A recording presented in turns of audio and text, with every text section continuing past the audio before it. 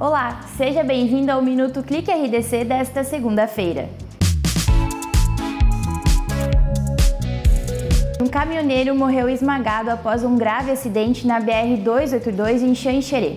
O fato ocorreu na manhã desta segunda-feira por volta das 8 horas. O acidente ocorreu após um veículo de passeio acessar a rodovia de forma brusca.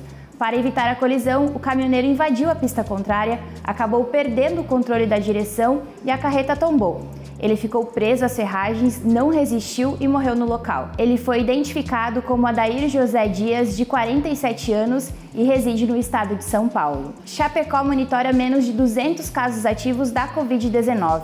A informação foi divulgada por meio do boletim emitido na manhã de hoje. São monitorados 171 casos ativos da doença e 50 casos suspeitos. Não foram registrados óbitos nas últimas 24 horas. Um homem de 42 anos foi encontrado morto com diversas marcas de violência em São Lourenço do Oeste, aqui no oeste de Santa Catarina. A vítima estava com um fogão a lenha caído sobre o próprio corpo.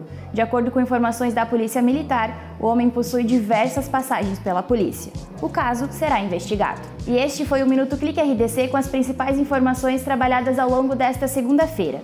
Para mais, acesse cliquerdc.com.br.